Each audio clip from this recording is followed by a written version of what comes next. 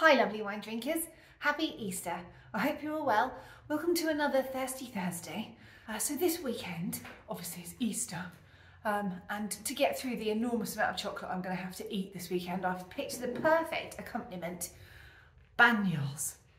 This is a lovely bottle from Domaine Pietri Geraud, the Mademoiselle Banyuls Rimage. Absolutely lovely. No wine list is complete without a bottle of Banyuls. It's a red dessert wine, a fortified wine, which you serve chilled.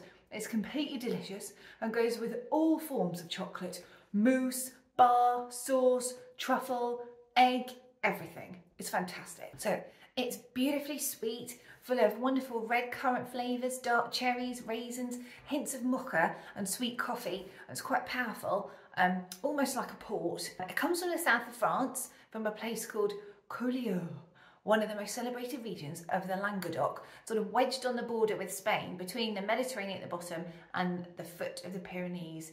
Um, it's made from Grenache grapes and it's considered to be one of France's most complex wines. The vines grow on hillsides, on special terraces, and Grenache is quite a hardy grape, so it doesn't need too much irrigation or too rich a soil, just plenty of sunshine.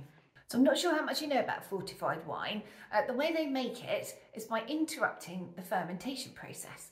The yeast is added and it turns the sugar into alcohol and this process usually continues until all the sugar has gone or for instance the temperature's got too high or the alcohol levels have reached around sort of 15%. So what they do for a fortified wine is add alcohol before the fermentation process is complete so that the yeast dies and there's still a lot of sugar in there making the wine very sweet and also keeping a lot of alcohol in there too. Uh, so the average ABV of a fortified wine is about 16 or 17%.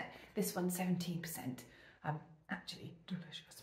So then the beautiful Banyuls is aged in oak barrels, but not as we normally do it. They use a special process called the oxidation process, where the Banyuls is actually exposed to the air during the aging process. So it's a little bit unusual and different this wine, but extremely delicious and I do hope you like it. It's normally $25.99, but with your Thirsty Thursday 10% off discount, it'll be just £23.40.